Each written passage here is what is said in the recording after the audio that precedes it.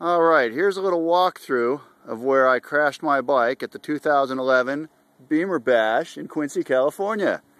Coming up the road here in fourth gear, I don't know, 50, 60 miles an hour. and walking up the road, I came up, oh, trajectory actually about like this.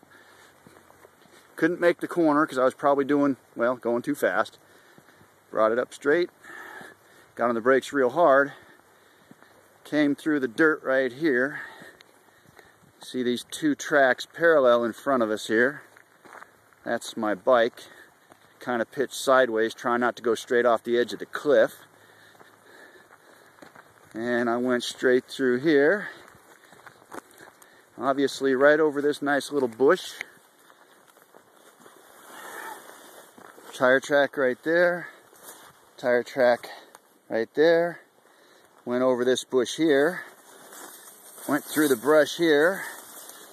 Broke this branch right here off. Poor manzanita. That one there. Ended up going down through all of this here. Over all of this. Down here.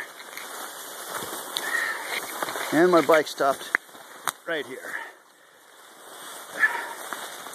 in this dirt patch. Yeah, it really, it's, it's like eight feet. And so, here's a panoramic view of the valley around us. Yeah, and there's the road that I should have stayed on. And uh, I hooked up my bike, and we drug it out. Right up here, no. And, uh, and there's the corner back where we started.